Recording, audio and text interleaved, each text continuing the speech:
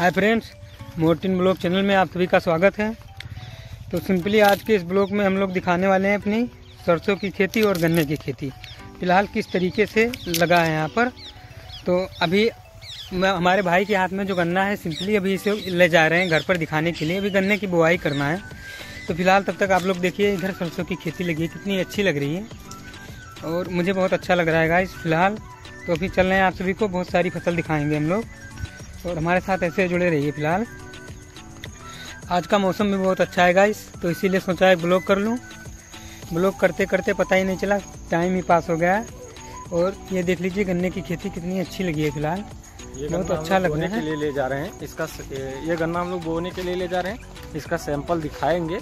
इस गन्ने का जमा के देख लेंगे कि कैसे गन्ना मतलब जामेगा कि नहीं जामेगा।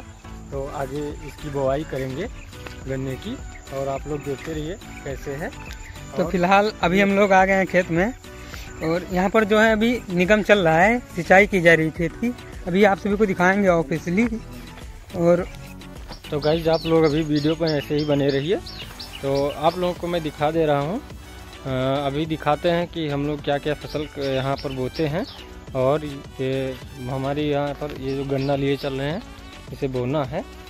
बोकर देखेंगे कैसे जमता है तो फिर आगे मतलब पूरा खेत बोएँगे। और देख सकते हैं, ये मेरे गन्ने का खेत है मेरा।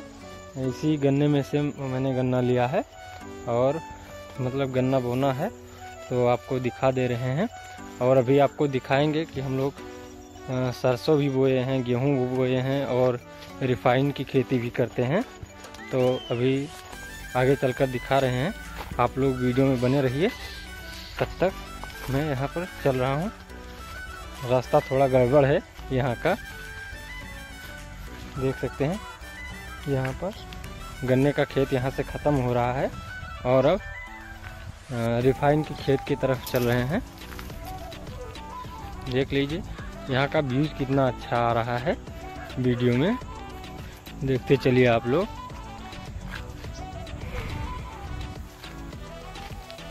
पहुँच गए हैं हम लोग यहाँ। रिफाइन के खेत तक। तो गाइज़ हम लोग रिफाइन के खेत में आ गए हैं फ़िलहाल आप सभी को दिखाने के लिए।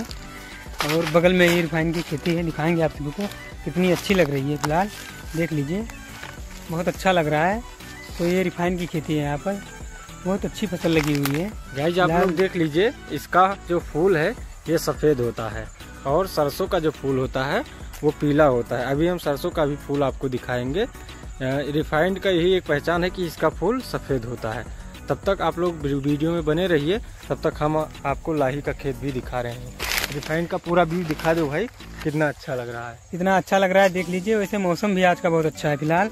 शाम का मौसम है और हमारे साथ ऐसे ही आप सभी लोग जुड़े रहिए। तो गाइज़ हम लोग अभी गेहूँ के खेत में आ गए हैं और यहाँ के जो जानवर हैं मतलब सारा गेहूँ खा लिए हैं फ़िलहाल। कुछ हो नहीं रहा है, बहुत अच्छी फ़सल लगी थी इसमें। आप सभी को दिखाएँगे किस तरीके से मतलब इसको खा लिया है। ये देख लीजिए आप लोग, बहुत ज़्यादा नुकसान हो गया है हमारा। अभी ऐसा लग रहा है कि कुछ होगा नहीं इसमें। फ़िलहाल देखते हैं, कुछ ना कुछ तो होगा ही। हमारे लिए बहुत दुखद समाचार है कि जो यहाँ के जो छोटे सांड वगैरह होते हैं तो वो पूरा फ़सल खा लिए हैं। लगभग पूरा गेहूँ का खेत ही बर्बाद कर लिए हैं। गेहूँ जो होता है, ये खाने में बहुत नरम सा होता है ना तो इसीलिए गेहूँ गेहूँ को ज़्यादा सांड लोग पसंद करते हैं। और ये तो हमारे योगी जी का कृपा है ही, जो कि सांड बहुत ज़्यादा यहाँ घूमते रहते हैं। अभी मैंने देखा तो वहाँ कम से कम पचासों सांड खड़े हुए थे। तो वहाँ हम लोग उनके किनारे गए ही नहीं। नहीं तो अगर ज़्यादा नज़दीक जाते तो हो सकता था वो हम पर अटैक भी कर सकते थे। तो फ्रेंड्स, आप लोग देख सकते हैं यहाँ पर गेहूँ बचाने के लिए मतलब कितनी सुरक्षा करनी पड़ती है। तार वार मतलब बहुत सारे लगे हुए हैं। ये, ये तार लगा हुआ है। ब्लड का तार है फ़िलहाल। ये देख सकते हैं। इसका इसका गेहूँ का वो सिक्योरिटी करना पड़ता है। और ये बगल में ही गेहूँ है।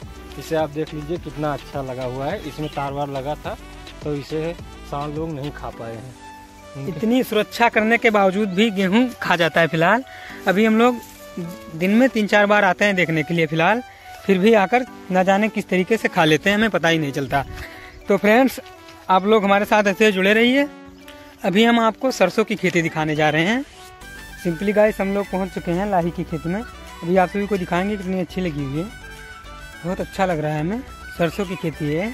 दिखा दो। देखो भाई, आप लोगों से मैंने कहा था कि जो सरसों ये क्या कहते हैं, रिफाइंड का जो फूल होता है, वो एकदम सफ़ेद होता है।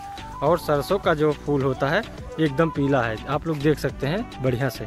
ये सरसों और लाही को पहचान सरसों और रिफाइंड को पहचानने में यही सबसे अच्छा उपाय है कि आप लोग उसके फूल को देख लीजिए कि कौन सा पीला है और कौन सा सफ़ेद। अगर पीला होगा तो सरसों होगा और अगर सफ़ेद होगा तो वो रिफाइंड होगा। तो गाइज़, अब हम आप लोग को यही बताना चाहते हैं कि ऐसे ही हम आपको ब्लॉग देते रहेंगे और आप लोग अगर वीडियो पसंद आया हो तो हमारे चैनल को सब्सक्राइब कर लीजिए आगे ऐसे ही वीडियो हम आपको देते रहेंगे। धन्यवाद गाइज़ आप सभी का।